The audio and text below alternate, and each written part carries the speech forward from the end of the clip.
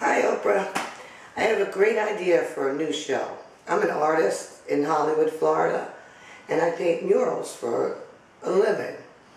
And I was thinking one day, I've been here two weeks painting, I should have a show on your network, my OWN show.